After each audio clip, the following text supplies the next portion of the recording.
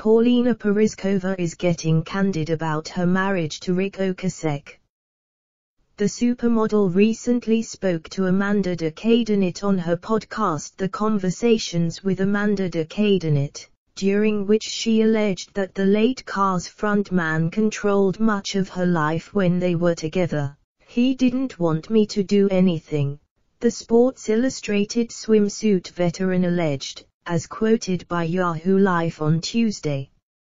He didn't want me to go anywhere. He wanted me to be within his circles at all times. I was his sole emotional provider for everything, and I confused that, according to the outlet, their marriage began when she was 24 and he 45. The 56-year-old also claimed to the host that during their union, she felt more like a treasured possession than a person with the rocker. It was a collective thing that just stuck with me forever, and I still feel that way, which, of course, is remarkable then that me, a self-proclaimed feminist, goes and marries a guy who tells her how to dress, she alleged. Ocasek died in 2019 from heart disease worsened by emphysema. They shared two sons. Porizkova announced the couple's separation the previous year. The star admitted in the podcast she was devastated to learn after his death that Ocasek had cut her out of his will. It's a betrayal, she said, as quoted by the outlet.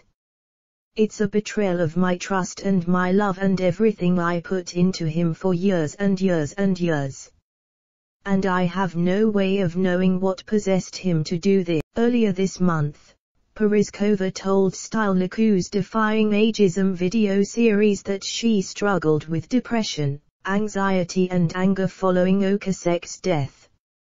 She spent most of her days crying while going through menopause. To me, my menopause is tied into the grief over my husband, she said.